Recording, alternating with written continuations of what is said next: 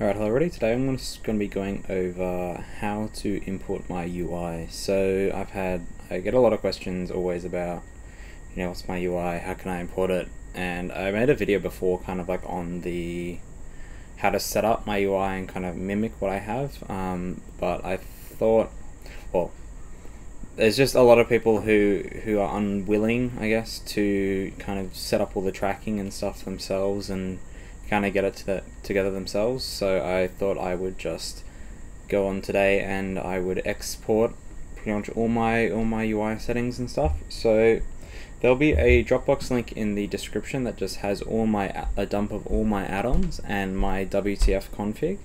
Um, so I will also link a post to how to um, copy that across to your new character. So all basically you have to do is just copy the files inside the WTF file I linked, and you just have to copy it onto the character you want to save it onto.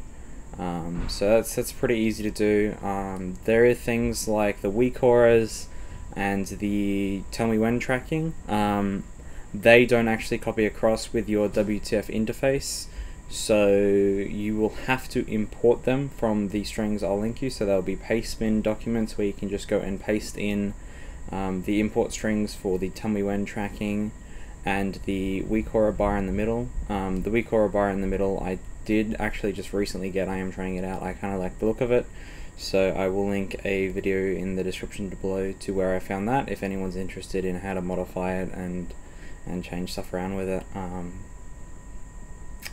so yeah, well I hope this helped out some people um, and enjoy.